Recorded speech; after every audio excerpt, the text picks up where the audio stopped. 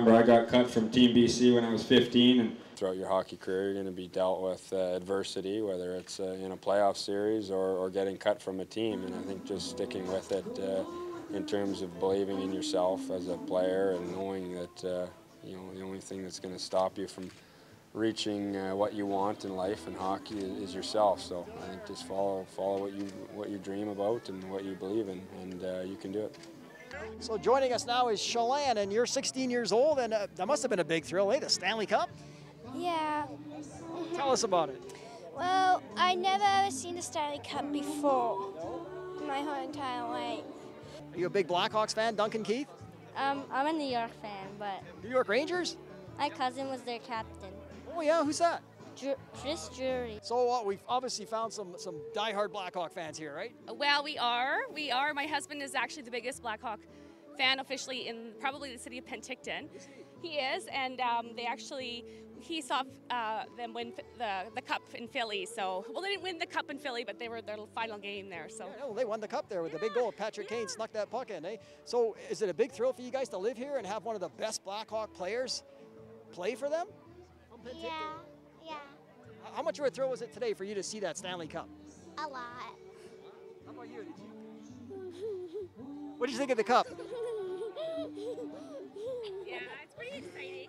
She's so excited she can't talk.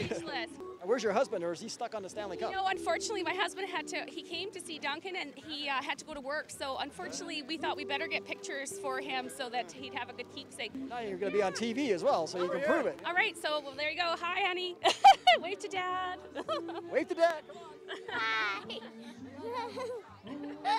So you guys are obviously Blackhawks fans. You both got Duncan Keith jerseys on here. Oh yeah, yeah. Diehards. Diehard fans. Yeah, yeah, yeah. We've actually wore these uh, jerseys in Vancouver once. Oh, yeah. You're brave. It was very brave. We were lucky. Uh, Vancouver won that game. So tell us about how much of a thrill it is for your for the hometown boy to be on the team winning the Stanley Cup. It's pretty meaningful, I guess. You know, as a guy that uh, I went to high school with, and you kind of see him achieve something that's pretty amazing. Uh, it's pretty inspirational, I guess, to you know, see somebody who comes from the same upbringing to really take it home. Do you remember him in high school? He was a pretty scrawny little kid, wasn't he? Yeah, he was pretty lightweight. I think he was about buck 65 or so, and he was playing for uh, Penticton back in those days. He's pretty small. It's amazing what happened. He obviously grew. He put on a few pounds and became one heck of a defenseman. Yeah, well, it's the skating that made it made his game. He's pretty he's pretty awesome skater. Yeah. What are you guys going to do when you get up there and get your picture with the cup? Uh, smile, I guess. what else, eh? 38 I got to touch it finally. Oh, I'm so excited. Oh, I think I, I think I think you're a little excited. Are you a little excited? Yes. oh, 38 years I waited to touch that, and now I just did.